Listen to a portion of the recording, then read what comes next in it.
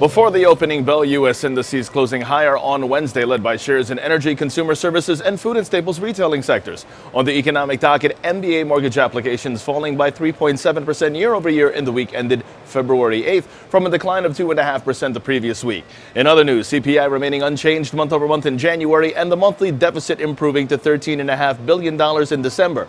This all while advancers ahead of decliners, 67% of S&P 500 constituents trading higher yesterday. Now, after after the markets closed. Cisco Systems announcing second quarter adjusted EPS up 16% year over year to 73 cents on revenue up 7% year over year to $12.45 billion.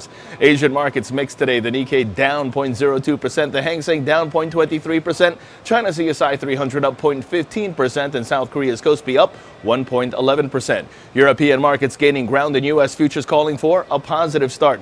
Now, in terms of expectations today, Coca Cola, Nvidia, CBS, CME Group all expected to release their earnings this session. While on the economic dock at 8.30 in the morning, we have both the January PPI final demand read and initial and continuing jobless claims figures, as well as December retail sales advance numbers and November business inventories.